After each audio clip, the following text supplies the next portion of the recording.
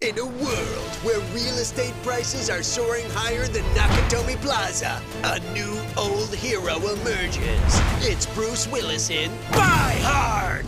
It's a bad day to buy. Seriously, who can afford it in this market? Bruce Willis and his wife Emma are just purchased a new home in Brentwood for $10 million. $10 million? Yippee-ki-yay, mother- It's a lot of money, but there's a lot of house and land here. It is absolutely insane. It sits on a half acre land. It's gated community, seven bedrooms, five bathrooms, full indoor spa, pool, sauna, steam room. Wow. It's even got a private yoga studio. It's got a yoga studio. Any any room is a yoga studio, man. It's just a floor. Yeah, just like anywhere's a bathroom.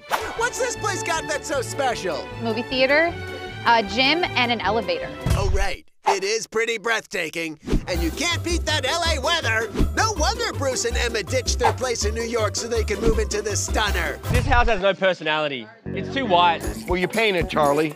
Okay, I'm in. So, enjoy the house, Bruce and Emma.